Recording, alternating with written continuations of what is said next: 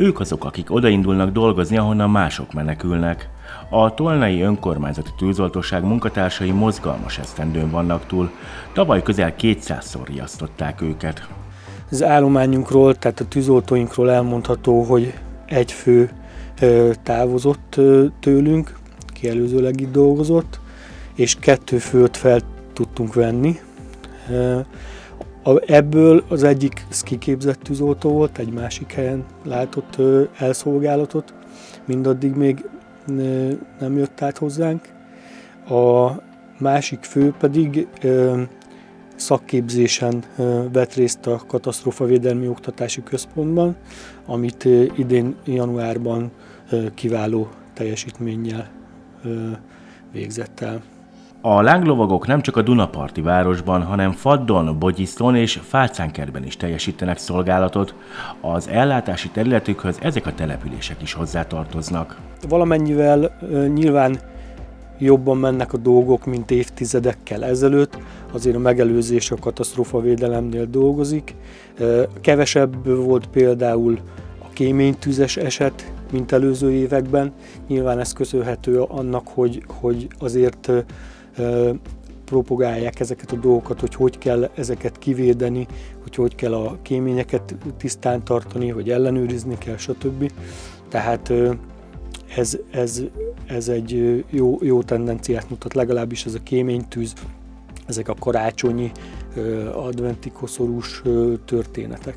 Ezekből kevesebb van. Nekünk civileknek ugyanakkor még mindig sokkal óvatosabbnak és körültekintőbbnek kellene lennünk, annak érdekében, hogy a tűzoltóknak kevesebb szer kelljen vonulniuk. Régi épületek, régi házaknál ugye a, a villanyvezetékek állapota mm, az, ami, ami problémát okozhat. Tehát amiből lehet egy, lehet, hogy elektromos tűz.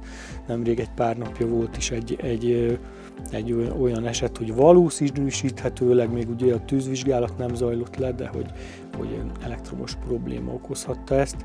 És hát amit ugye mindig szajkózunk, tehát ez a őrizetlenül hagyott nyílt láng használat, tűzhelyen felejtett étel, kémények, tüzelésnek a problémái, ugye azt nem mindegy, hogy mivel, nem mindegy, hogy milyen kéményen megy ki ez a füst. A szakember szerint a közúti balesetek igen jelentős részért felel a vezetés közben szabálytalanul használt mobiltelefon.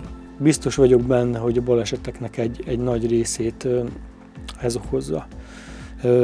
Nyilván figyelni kell a gépjárművek műszaki állapotára, de hát ez, ez, ez, ez egyértelmű. És hát a figyelem lanyhul, a forgalom pedig egyre nagyobb. Tehát ezt itt a településen is láthatjuk, hogy van, amikor nagyon nehéz kifordulni itt megkülönböztetett jelzéssel, nyilván mi ki, ki tudunk, akkor megállnak azért a járművek, de például nekem otthon a, a, a házamtól elég sokat kell várni, mire így az autósor egy picit, egy picit szaggatottabb, és akkor ki tudok kanyarodni, tehát több autó, több autó van az utakon. A finanszírozás tekintetében a központi költségvetésből érkező normatív támogatás, valamint a város által nyújtott kiegészítés nem csak a béreket és a feladatellátáshoz szükséges feltételeket teremtette meg, de pályázati forrásból még új eszközök beszerzésére is futotta, sőt az egyik kocsiszer motorját is felújították. Az idei évben is több hasonló beruházást terveznek a tolnai tűzoltók. Az állományunk ban minden tűzoltó képzett, de egy magasabb szintű képzésre szeretném még négy, négy dolgozónkat, négy tűzoltónkat beintegrálni. Ez nem megy nyilván egyszerre, így egyenként így tavasszal és ősszel szeretnénk küldeni egy-egy embert, és akkor is folyamatosan, amíg, amíg így mind a négy el nem végzi ezt a magasabb szintű tűzoltó szakképzést. A tárlati tervek között pedig egy igazi nagy beszerzés is szerepel. Előbb-utóbb azon is kellene gondolkodni, hogy az egyik járművünk az elég sokba kerül a, a fenntartása, nagyon drágák az alkatrészek, ugye ez egy régi technika, és hogyha egyszer tudnánk beszerezni egy olyan gépjármű fecskendőt valahonnan, akár a környező országokból, külföldről, ami kevés kilométert ment, de olyan típusú, olyan márkájú, hogy könnyebb a fenntartása, akkor ez egy, ez egy távlati célunk lehet.